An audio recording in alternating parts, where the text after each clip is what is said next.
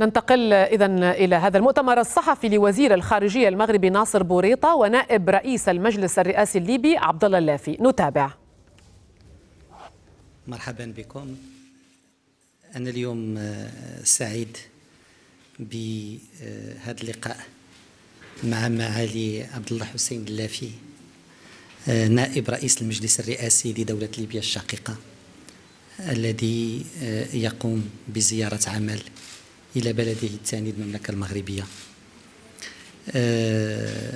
هذه مدة وحنا نتمنى هذه الزيارة معالي الرئيس ونحن سعداء بزيارتكم ونرحب بكم وبالوفد المرافق لكم.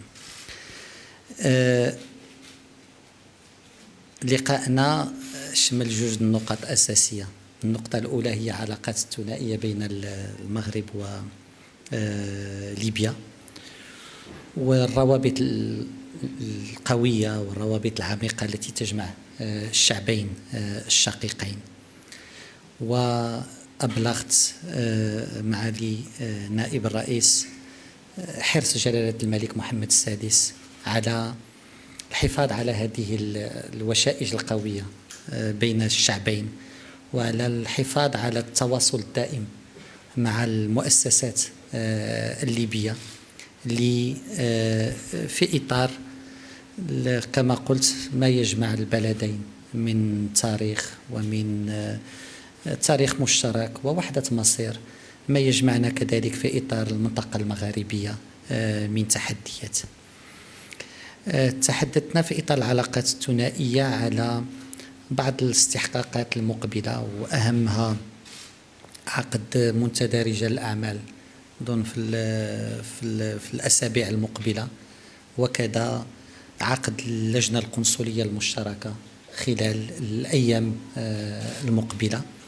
للنظر في كل القضايا اللي كتهم الجاليتين الليبية في المغرب والمغربية في في ليبيا وكيفية الحفاظ على هذا الرصيد المهم. آه، في علاقتنا اللي هو هذا الرصيد البشري هذا هذا العنصر الإنساني اللي هو عنصر أساسي ومكون أساسي ونقطة قوة أساسية في العلاقات المغربية آه، الليبية.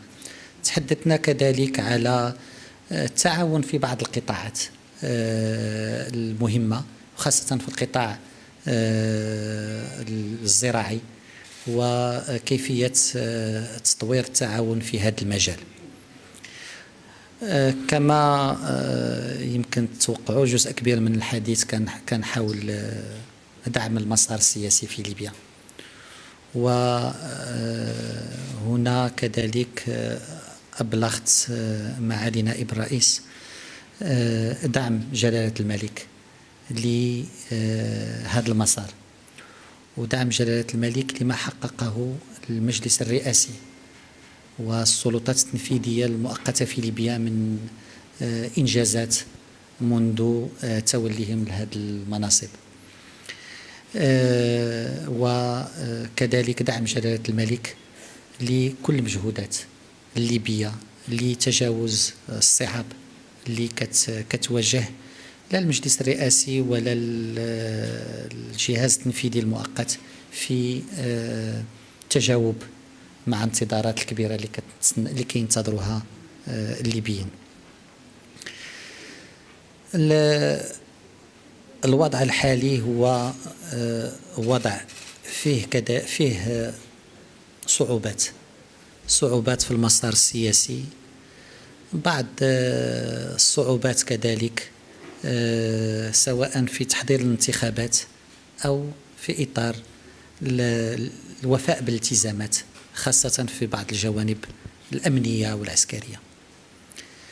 المغرب بقدر ما هو واعي بهذه الصعوبات بقدر ما هو كذلك آه، متيقن بأن ليبيا والليبيين عندهم القدرة على تجاوزها.